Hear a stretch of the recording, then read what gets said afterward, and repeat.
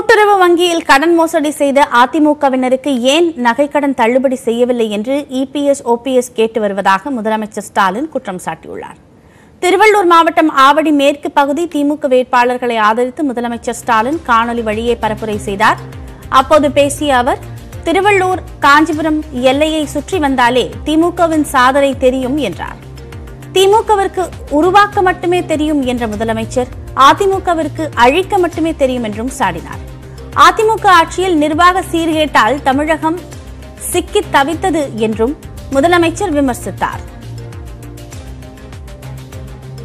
எப்படியெல்லாம் நகை கடன் முறைகளை நடந்துச்சுன்னு கேட்டீங்கன்னா போலி நகைகளை கொண்டு போய் வச்சு கடன் வாங்கி இருக்கிறாங்க நகைகளே இல்லாம நகைகளை வச்சது மாதிரியும் பொய் கணக்கு காட்டி இருக்கிறாங்க தூத்துக்குடி மாவட்டத்தில் ஒரு வங்கியில ஐநூறு நகை பொட்டலங்கள். இருநூற்றி அறுபத்தோரு பொட்டலங்கள்ல நகைகளே இல்ல. வெறும் பொட்டலம் தான் இருக்கு. அதை வச்சு மட்டும் ஒரு கோடியே தொண்ணூத்தி எட்டு லட்சம் ரூபாய் கடன் கொடுக்கப்பட்டிருக்கு.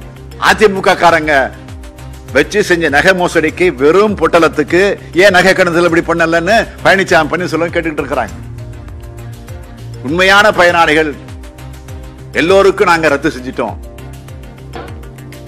கிருஷ்ணகிரி மாவட்டம் ஓசூர் அருகே அதிமுக வேட்பாளர்களை ஆதரித்து முன்னாள் முதலமைச்சர் எடப்பாடி பழனிசாமி வாக்கு சேகரித்தார். அப்போது பேசிய அவர் திமுக ஐநூற்று இருபத்தைந்து அறிவிப்புகள் வெளியிட்டுள்ள நிலையில் அவற்றை நிறைவேற்ற முடியவில்லை என்றும் குற்றம் சாட்டினார்.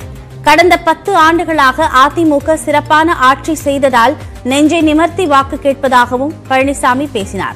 பெரிய கட்சி என்ற நிலையிலிருந்து திமுக கழுதை தேய்ந்து கட்டெரும்பை போல ஆனது என்றார்.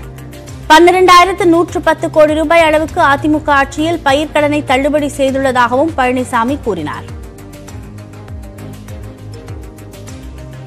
நம்முடைய தைப்பொங்கல் சிறப்பாக கொண்டாட வேண்டும் அதுக்காக இருபத்தி ஒரு பொருள் கொடுப்பதா சொன்ன பைய உள்ளடக்கி. நம்முடைய தாய்மார்கள் மகிழ்ச்சியோட போய் ரேஷன் அந்த பொருளாக போனாங்க. பாதி பேருக்கு பை கொடுத்தாங்க பாதி பேருக்கு பையே கொடுக்கல. அதுலயும் ஊழல். பிறகு அதில் கொடுக்கப்பட்ட பொருள் இருபத்தி ஒரு பொருள் இல்லை. ஒரு பதினஞ்சு பதினேழு பொருளுக்கு மேல இல்லை. அதுலயும் முன்னாடி வேலை பண்ணிட்டாங்க. தருமபுரியில் பாட்டாளி மக்கள் கட்சி வேட்பாளர்கள் அறிமுக கூட்டம் நடைபெற்றது. அதில் பேசிய அன்புமணி ராமதாஸ் பாமக வேட்பாளர்கள் வெற்றி பெற்றால் மக்களை சுற்றி வருவார்கள் என்றும் அதிமுக திமுக வேட்பாளர்கள் வெற்றி பெற்றால் அவர்களை மக்கள் சுற்றி வர வேண்டிய நிலை ஏற்படும் என்றும் குறிப்பிட்டார்.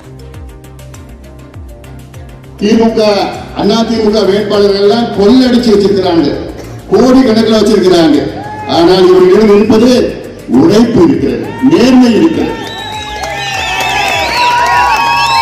பாட்டாளி கட்சியுடைய வேட்பாளர்கள் வெற்றி பெற்றால் உங்களை சுற்றி சுற்றி வருவார்கள். காரணம் அவங்களுக்கு வேற வேற எந்த வேலையும் கிடையாது. ஆனால் தப்பி தவறி அண்ணா திமுக திமுக வேட்பாளர் வெற்றி பெற்றால் அவங்க வீட்டில் தான் இருப்பாங்க. ஏன்னா கோடி கணக்கில் வச்சிருக்கிறாங்க. நீங்க தான் அவங்கள பார்க்கணும். அவங்க உங்களை பார்க்க வர மாட்டாங்க கன்னியாகுமரி மாவட்டத்தில் திமுக மற்றும் அதன் கூட்டணி கட்சி வேட்பாளர்களை ஆதரித்து திமுக மகளிர் அணி மாநில செயலாளர் கனிமொழி தேர்தல் பரப்புரையில் ஈடுபட்டார். அஞ்சு கிராமம் மயிலாடி ஆரல்வாய்மொழி நாகர்கோயில் உள்ளிட்ட பல பகுதிகளில் பிரச்சாரம் மேற்கொண்ட அவர் பாரதிய ஜனதா கட்சி வாக்கு சேகரிக்க வரும்போது மக்களிடம் மத ரீதியிலான காழ்ப்புணர்ச்சியை ஏற்படுத்துவதாக குற்றம் சாட்டினார். பாஜக வாக்கு கேட்டு வரக்கூடிய நேரத்திலே மக்களிடம் மத ரீதியான மாச்சரியங்களை காழ்ப்புணர்ச்சிகளை விதைத்துக் கொண்டிருக்கிறார்கள். நாம் தமிழ்நாட்டிலே சகோதரர்களாக சகோதரிகளாக ஒற்றுமையாக வாழ்ந்து கொண்டிருக்கிறோம். ஆனால் அவர்கள் பேசும் பொழுது ஏதோ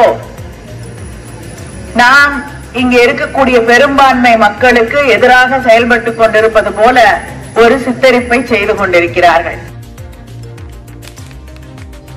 கோவை மாநகராட்சி தேர்தலில் மக்கள் நீதி மய்யம் சார்பில் போட்டியிடும் வேட்பாளர்களை ஆதரித்து பாப்பநாயக்கன் பாளையத்தில் பிரச்சாரத்தில் ஈடுபட்ட கமல்ஹாசன் மற்ற கட்சி வேட்பாளர்கள் வியாபாரம் செய்ய வருவதாகவும் மக்கள் நீதி மய்யம் வேட்பாளர்கள் கடமையை செய்ய வந்துள்ளனர் என்றும் கூறி வாக்கு சேகரித்தார். இவங்க வந்திருக்கிறது கடமையை செய்ய. அவங்க வர்றது வியாபாரத்துக்காக.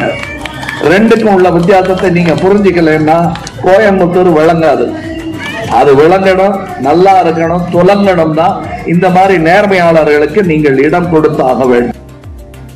இனி விரைவு